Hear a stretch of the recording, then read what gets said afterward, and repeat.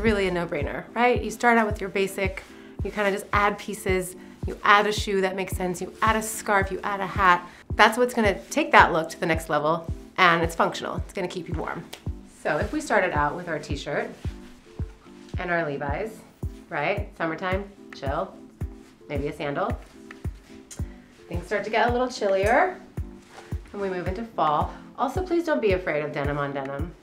It's a thing, and I am I'm fully in support of that. Maybe just add a sweatshirt, right? Easy.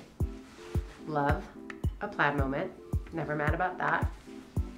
And then of course, any go-to jacket that you know that you're gonna love and you're gonna feel good in, just top it off, easy peasy.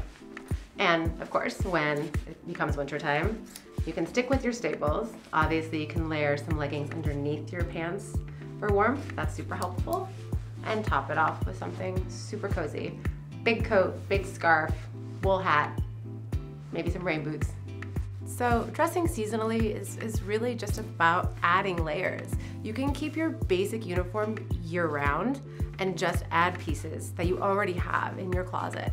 Whether it's a sweater and a scarf, or it's a jacket or a hoodie or a plaid, or just anything that's gonna, you know, keep you cozy.